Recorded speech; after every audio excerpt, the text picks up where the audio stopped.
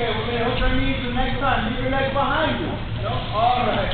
All right. Three fast kicks. Hook your knees. Kick forward, backward, forward. Hook your knees. Go all the way. Go. There we go.